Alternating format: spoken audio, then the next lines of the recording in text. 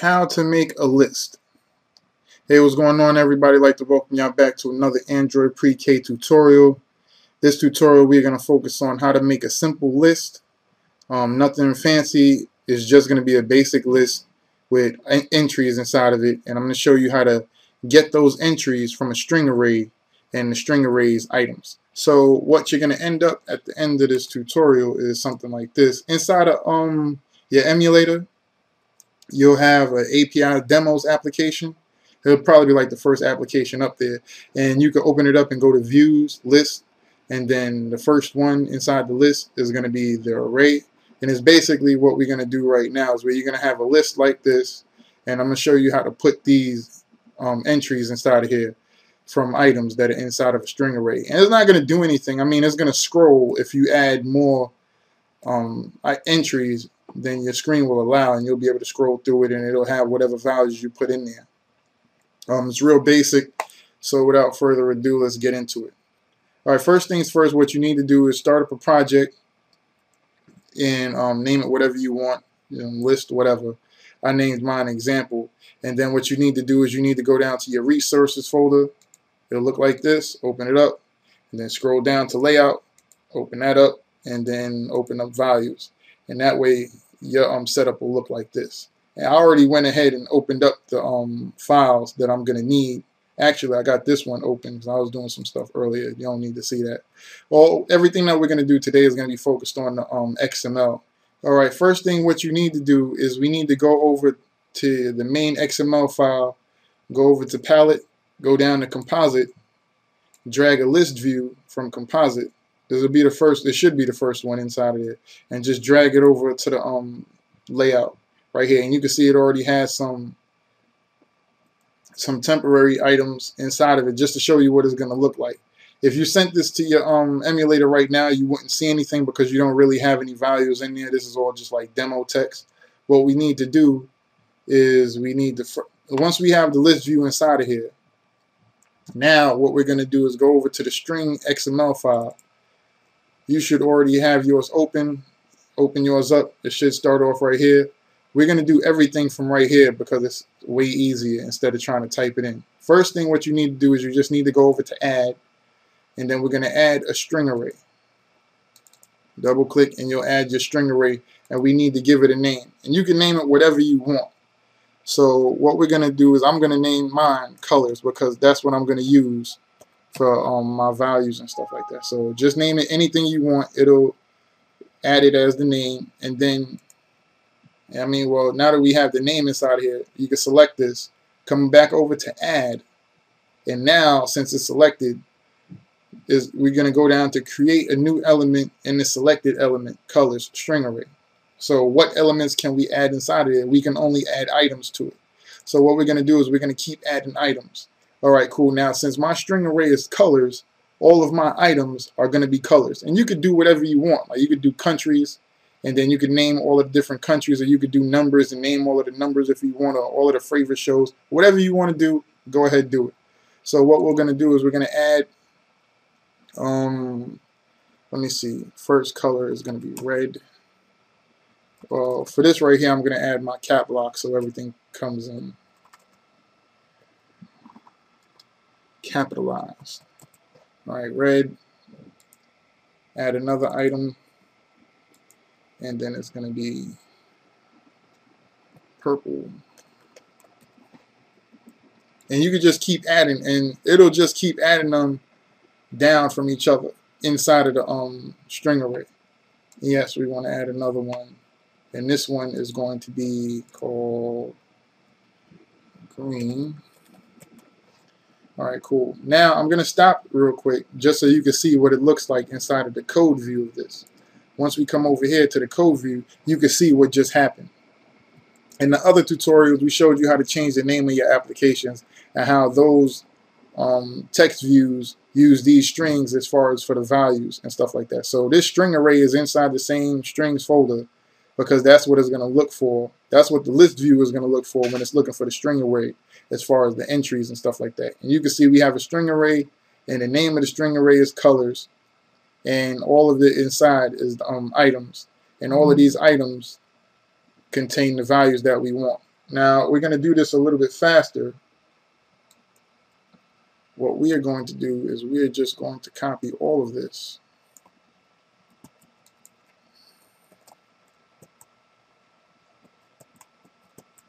And don't worry, we'll fix it. It doesn't look right, but we'll fix it. Let me just get this right real quick.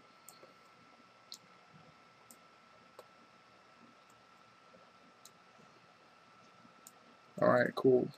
And if we could, and you could use this right here, and then inside of the um, list array, it would just be these values right here as the entry. These items right here would be the entries inside the um, list view. And that's what it would be, but we don't want to use that. So all I want to do is I just want to change the text inside. So what I'm going to do is I'm going to go to blue, go to orange. As you can see my laziness.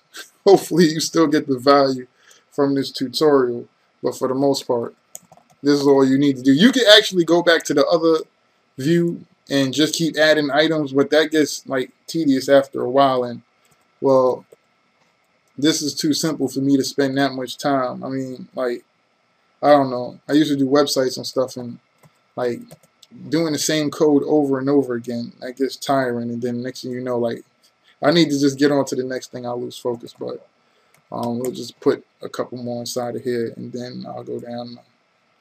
Now, anybody watching this right now, you might have noticed I've missed the color. Probably, I don't know, but um, please don't put that inside the comments.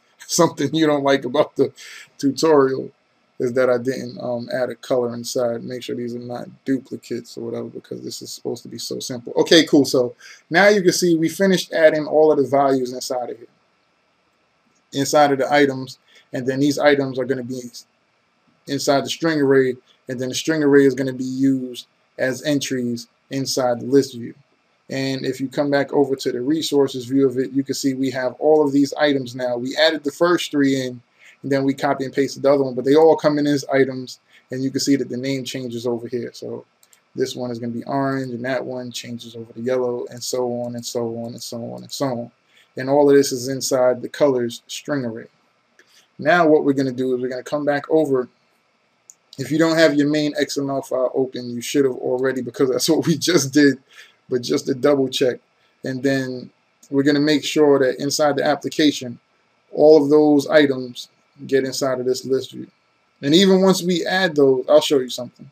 Watch, come over to the XML view, and we need to go over to the list view. Let me just get this cleaned up real quick. All right, cool.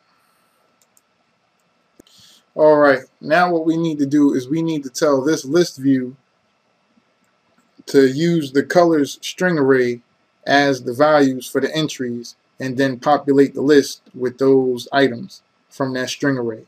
Sounds real complicated, but it's actually not.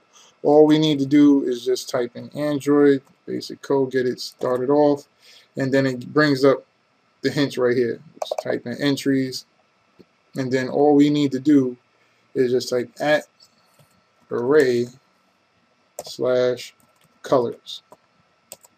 And all it's basically saying is go look for a string array and the string array is going to be named colors and then use those as the entries for this list view inside of the application as far as the main layout and that's what it's going to use. Then you just come over to save that.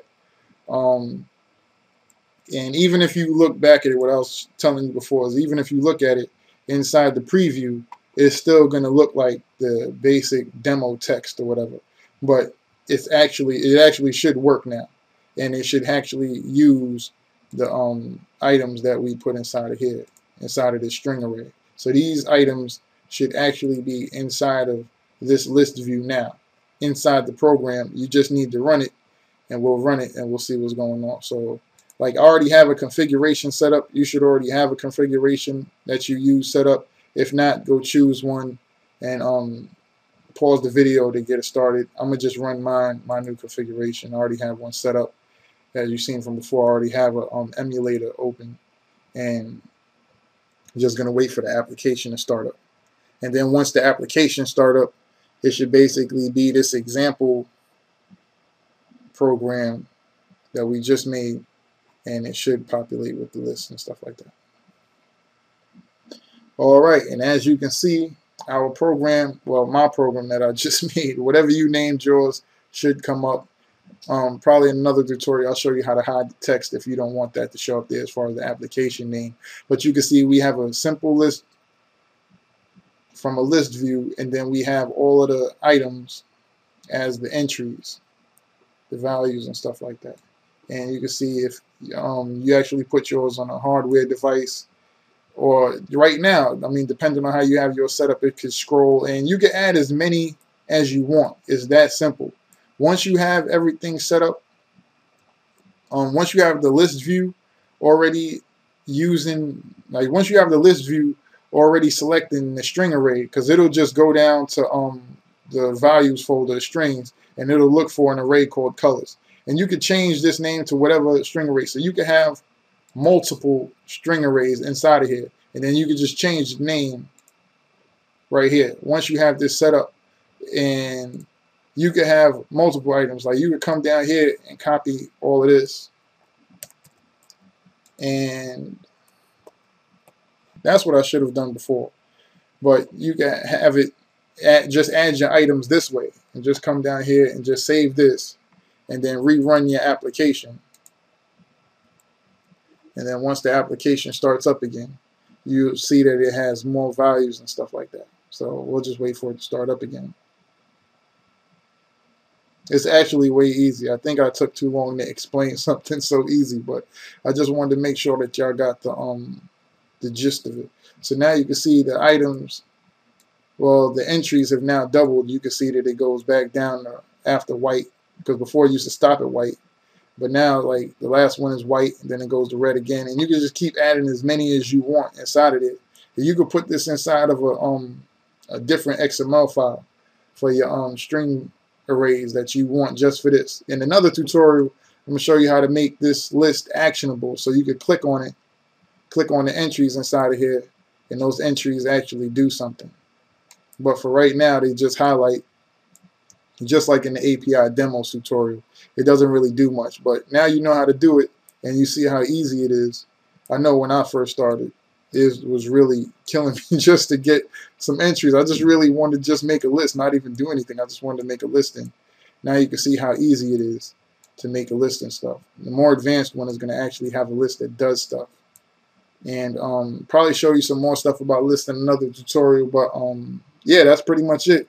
How to make a simple list. How to make a list the easy way. Android Pre-K tutorials. Thank you very much. Join us on Facebook and um, follow us on Twitter Android Pre-K so you can stay up to date with um, new episodes. Also, subscribe to the channel and um, leave as much feedback as you can. So leave as much feedback as you can. Whether you have a question about something else, try to make the feedback relevant to the video. But I know a lot of people inside the comments just need help.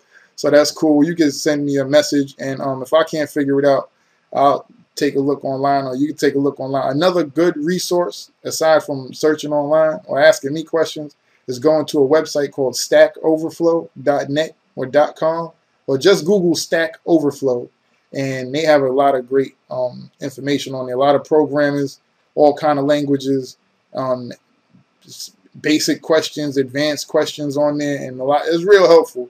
I know I learned a lot of stuff from.